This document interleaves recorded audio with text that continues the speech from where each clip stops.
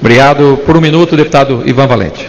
Senhor presidente, queria dar como lido meu pronunciamento que trata do Plano Municipal de Educação em São Paulo, onde foi atacado o financiamento público da educação e o aumento de verbas, a diminuição do número de alunos por turma, a política de conveniamento e o debate de gênero.